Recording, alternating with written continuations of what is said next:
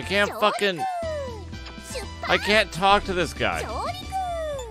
Oh, there we go. D-pad.